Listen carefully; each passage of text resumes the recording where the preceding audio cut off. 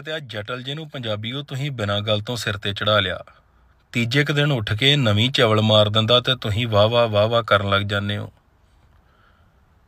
ਇਹਨੂੰ ਇੱਕ ਗੱਲ ਪੁੱਛੋ ਕਿ ਜਿੱਦਣ ਤੇਰੇ ਵਾਲੇ ਈਸਾਈ ਪਾਸਟਰ ਸਿੱਖ ਧਰਮ, ਸਿੱਖ ਯੋਧਿਆਂ ਬਾਰੇ ਜਾਂ ਸਿੱਖ ਪੰਥ ਬਾਰੇ ਮਾੜੀ ਸ਼ਬਦਾਵਲੀ ਵਰਤਦੇ ਆ ਜਾਂ ਗਲਤ ਬੋਲਦੇ ਆ ਉਦੋਂ ਤੇਰੀ ਜ਼ੁਬਾਨ ਕਿਉਂ ਨਹੀਂ ਨਿਕਲਦੀ? ਜਿੱਦਣ ਤੇਰੇ ਈਸਾਈ ਪਾਸਟਰ ਲੋਕਾਂ ਨੂੰ ਕਰਮਾਂ ਕਾਂਡਾਂ ਦੇ ਵਿੱਚ ਵਹਿਮਾਂ ਭਰਮਾਂ ਚਲ ਜਾਂਦੇ ਆ ਤੇ ਫਾਇਰ ਫਾਇਰ ਕਹਿ ਕੇ ਉਹਨਾਂ ਦੇ ਦੁੱਖ ਕੱਟਦੇ ਆ।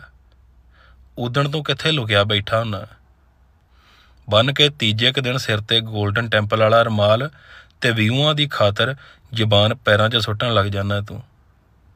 ਇਹ ਜਿਹੜੇ ਤੈਨੂੰ ਵਾਹ-ਵਾਹ ਕਰਦੇ ਆ ਨਾ, ਉਹਨਾਂ ਨੇ ਹੀ ਚਪਲਿੰਗ ਕਰਨੀ ਆ ਤੇਰੀ। ਧਰਮ ਕੋਈ ਵੀ ਮਾੜਾ ਨਹੀਂ ਹੁੰਦਾ। ਧਰਮ ਦੇ ਵਿਚਲੀਆਂ ਕਾਲੀਆਂ ਭੇਡਾਂ ਮਾੜੀਆਂ ਹੁੰਦੀਆਂ ਨੇ। ਜਿੱਦਾਂ ਕਿ ਤੂੰ। ਸਿੱਖ ਆਪਣੇ ਸਿੱਖਾਂ ਦਾ ਵੀ ਵਿਰੋਧ ਕਰਦੇ ਨੇ ਜਿਹੜੇ ਮਾੜੇ ਨੇ। ਪਰ ਤੁਸੀਂ ਕਿਉਂ ਨਹੀਂ ਕਰਦੇ ਓਏ?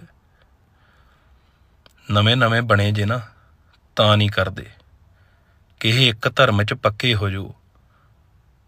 ਉਧਰ ਹੋ ਜਾਓ ਜਾਂ ਇੱਧਰ ਹੋ ਜਾਓ। ਫੇਰ ਪਤਾ ਲੱਗੂਗਾ ਕਿ ਧਰਮਾਂ ਦੀ ਇੱਜ਼ਤ ਕੀ ਹੁੰਦੀ ਹੈ। ਦੋ ਗਿਲਿਆਂ ਨੂੰ ਇੱਜ਼ਤਾਂ ਦਾ ਨਹੀਂ ਪਤਾ ਹੁੰਦਾ।